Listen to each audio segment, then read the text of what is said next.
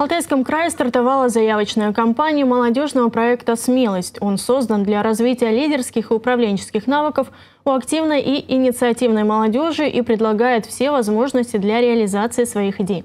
Что предлагают будущим участникам проекта и сколько молодежи планируют привлечь – об этом расскажет создатель и руководитель молодежного проекта «Смелость» Владимир Купин. Владимир, здравствуйте. Добрый день. А расскажите, пожалуйста, в чем суть этого проекта? Это мастер-классы, обучение, нетворкинг. Что это за сочетание форматов? Молодежный проект «Смелость», он на самом деле большая такая история. Это большая экосистема, которая состоит э, из многих историй. Это и образовательные форумы, это и молодежная премия, это спецпроекты, это программа наставничества. Вообще этот проект реализуется Центром амбиций «Сфера» э, два года – в этом году у нас есть генеральный партнер в виде Алтайского госуниверситета, и при поддержке Росмолодежь Грант реализуется этот проект. И в этом году смелость — это в первую очередь о том, что мы ищем и поддерживаем молодежь, которая а, имеет а, компетенции в области коммуникации, с, а, они хорошо стрессоустойчивые, у них есть навыки проектной деятельности. И самое важное, что, допустим, в молодежном проекте «Смелость», а именно в ключевом его блоке, это молодежная премия, которая стартовала у нас с 13 сентября и по 5 октября, а, мы не оцениваем участников наших по э, их портфолио, по их достижениям, мы оцениваем их э, компетенции, навыки, как они могут работать в команде, как они могут коммуникативно э, выстраивать свою роль и работу в команде. То есть, как я говорю, в этом проекте не оценивают, оценят и изучают как раз для нас это большой, на, самом деле, хороший исследовательский проект. Посмотреть угу. через конкурсную призму, как молодежь может себя э, самореализовать, э, если убрать историю вот этих тип портфолио и так далее.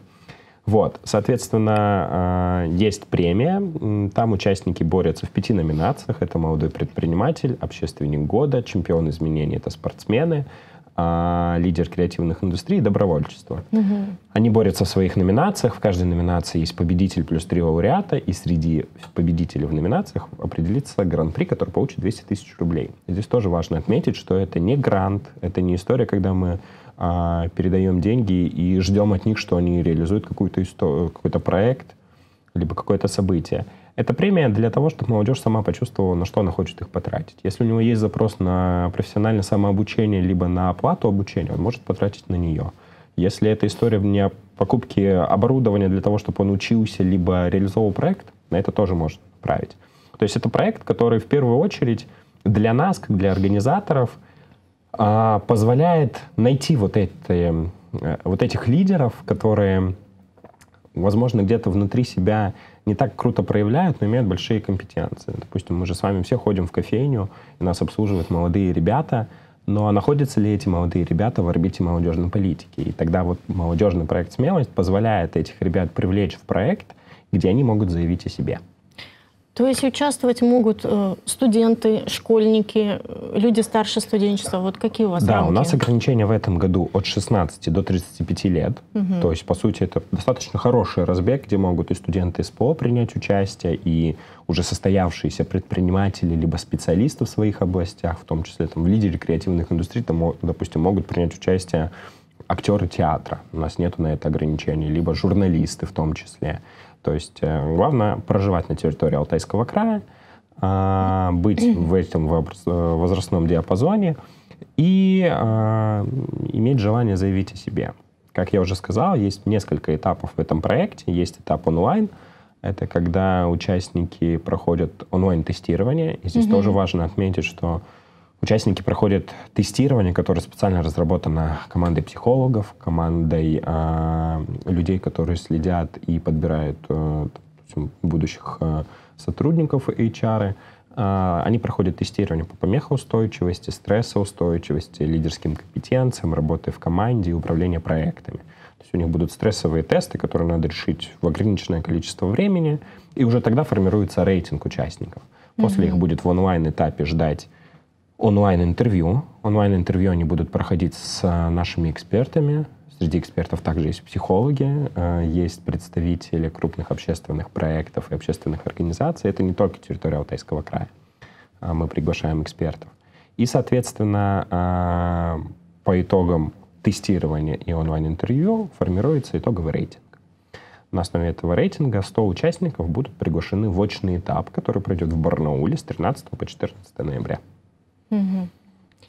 И это уже решение каких-то кейсов, да? Да, участники 13 ноября будут решать кейсы, связанные с социально-экономическим развитием Алтайского края. Ух ты. У них будет тоже история непростая, то есть не будет просто передачи кейса.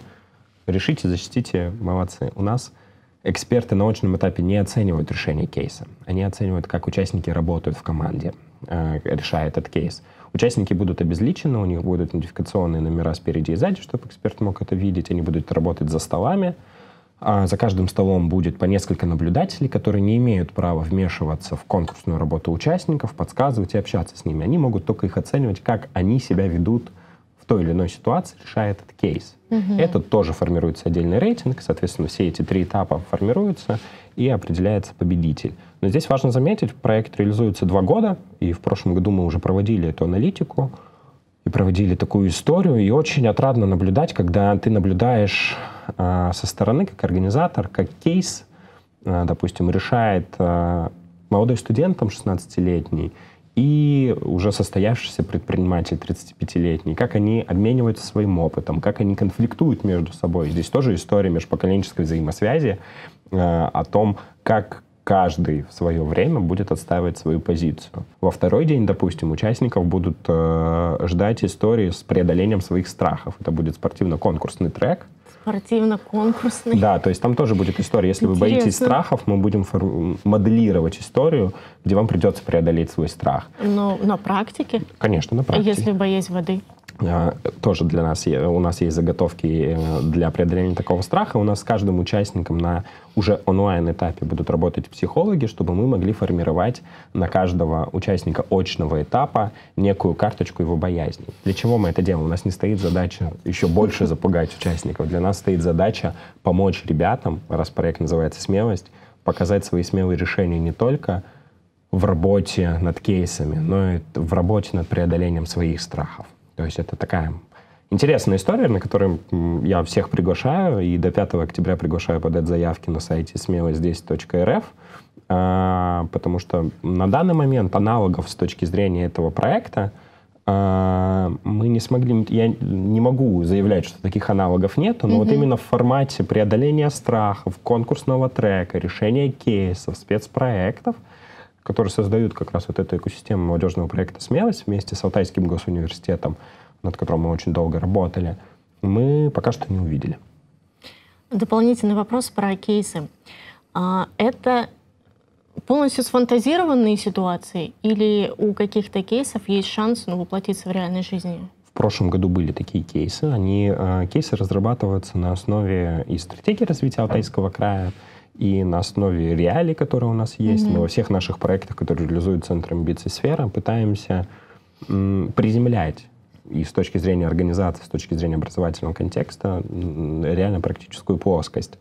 А, шансы реализовать это есть, и в этом году у участников будет постпроектное сопровождение, это когда я наставники и амбассадоры каждого направления будут дальше работать с участниками, прорабатывать с ними эти решения кейсов, и взаимодействовать с ними уже после проекта для того, чтобы эти кейсы воплотились в реалии. Угу. А вот вы назвали пять номинаций. А почему именно эти пять направлений были выбраны? У нас каждый год меняются номинации. Я не сказал, что на самом деле молодежный проект «Смелость» — это преемник большого конкурса «Молодой лидер Алтая», который мы запускали mm. три года назад. Тоже была такая история. Концепция плюс-минус сохранилась такая же. И вот мы за три конкурсных года, когда мы делаем подобные проекты, мы каждый раз меняли направление. Допустим, направление добровольчества, мы понимаем, что очень много людей в этом направлении работают, и для них нужно это сохранить. Два года была номинация, допустим, э, лидер студенческих отрядов. Мы поняли, mm-hmm. что мы немножечко трансформировали и создали отдельную большую номинацию «Общественник года», потому что туда могут подать и лидеры студенческих отрядов, и руководители общественных проектов. Допустим, наше новое нововведение — это номинация «Спортсмены», потому что мы увидели, что это та целевая аудитория, которая, если убрать историю да, э, спорта, они же тоже имеют очень большой Конечно. эффект с точки зрения лидерства, с точки зрения конвертации этих участников в последующую их работу Э, там, в молодежной политике, в региональной политике, куда их можно дальше сопровождать. То есть мы каждый год пытаемся смотреть те номинации, которые были бы интересны как для молодежи, у которых есть на это запрос, и для нас с точки зрения, как для организаторов и создателей этого проекта, а что дальше делать с этими участниками. То есть мы понимаем, что делать, допустим, с каждой из этой номинации. Самая, допустим, для нас рискованная и смелая была номинация — это молодой предприниматель. Вроде бы казалось, интересная история. А когда ты открываешь, у нас в этом году условие участия от 16 лет, а у нас порядка 20 заявок участников, которым 14 лет. Они по формальным признакам не могут принять участие, и это побудило нашу команду сделать в следующем году смелость э, подростки-дети, потому что мы понимаем, что для них тоже нужна эта история. Они тоже горят этой, этим моментом. Есть прецеденты, когда у нас на конкурс подавались ребята, которые через суд доказывали свою состоятельность, чтобы они были 14-летними предпринимателями. Мне кажется, в проекте в смелости очень круто еще наблюдать за коллаборациями, за партнерами, которые у нас есть. Как я уже сказал, это там Алтайский госуниверситет, э, Росмолодежь гранты, которые финансируют эту историю. Также у нас есть региональные партнеры в виде фонд э, поддержки населения Алтайского края, который тоже помогает очень сильно в работе с э, территориями, с регионом. Поддержка там, управления молодежной политики. У нас есть большая хорошая коллаборация с центром «Мой бизнес» и кофейней «Кофе Бул», Потому что у нас есть номинация «Молодой предприниматель». Влад Быков, как один из успешных примеров молодого предпринимателя. Там, допустим, на базе его кофейни запущены э, индивидуальные десерты молодежного проекта «Смелость». Лимитированной коллекции. Таких десертов нигде нет, только в его кофейне. И среди участников, кто э, сможет э, э увидеть эти десерты и попробовать, мы разыграем, допустим, путевку в Дубае. Это тоже для нас смелый вызов. И хочется сказать, что в, принципе во всех проектах, которые реализует Центр амбиции и в частности в молодежном проекте «Смелость», а, концепция подхода к работе с целевой аудиторией в первую очередь а на что пойдет эта молодежь, на что пойдет наша целевая аудитория. Мы понимаем, что на смелость пойдут ребята, которые хотят заявить о себе, и это конкурс, где не будут оценивать только по портфолио, а будут оценивать, как они работают. Мы понимаем, что наша целевая аудитория находится в кофейнях, значит, нам надо тоже туда зайти. А в целом этот проект глазами участника — это про конкуренцию или про раскрытие каких-то своих индивидуальных качеств? Я, наверное, скажу, что глазами участника, к сожалению, я не был участником, но я общаюсь с ними, и, как я уже сказал, у нас там часть сотрудников, э, которые работают сейчас у нас в команде, они выходцы из этого проекта. А, и общаясь с ними, я понимаю, что для участников молодежный проект «Смелость» — это такая некая отдушина с точки зрения и учебы, с точки зрения своей повседневной жизни, когда они, во-первых, могут заявить о себе, пообщаться с своими коллегами и найти партнеров. Mm-hmm. Вроде бы казалось, мы когда говорим про партнера, мы всегда думаем, что вот, это какая-то крупная компания, либо взрослые Да-да-да. люди. А когда участники между собой коммуницируют, они уже полноправные партнеры в своих каких-то историях. Поэтому а, молодежный проект «Смелость» глазами участников — это, наверное, у нас в этом году есть программа «Амбассадоры смелости». Это когда участники, которые были в прошлом году, мы их отобрали, они тоже борются за свой финансовый приз. Они как раз э, популяризируют этот проект. Общаясь с ними, я у них тоже спрашиваю, что для вас смелость? Мне амбассадоры отвечают, что а мы не можем объяснить, что для нас смелость, но мы почему-то туда идем, потому что мы, наверное, как организаторы смогли удовлетворить все потребности современного участника – начиная от мерча, заканчивая конкурсным треком, заканчивая какими-то плюшками, а самое главное сообществом, которое мы создаем этим проектом. Ну и судя по прошлому году, молодежь у нас активная, инициативная. Вот что вы видите? А, я могу сказать, что на самом деле у нас а, еще очень много работы с Конечно. молодежью. И здесь а, реально эта история, когда я всегда пытаюсь говорить, что Общественные организации, молодежная политика — это история, когда любой твой проект может залететь и, и ну, очень хорошо стрельнуть. Так получилось с э, проектом «Смелость». А, уникальность алтайской молодежи в том, что она а, любит и ценит свой регион, и она совершенно многогранна. Здесь, наверное, очень сильно играет э, роль нашей большой необъятной территории региона, и что, допустим, приезжая в город Рубцовск, ты общаешься с одной молодежью, у нас, я сам из Рубцовска, а, и большую часть моей проектной деятельности рабочей была там. приезжаешь в Барнаул совершенно другая, но у них есть все одно. Они любят свою территорию, и они горят э, идеей ее развивать.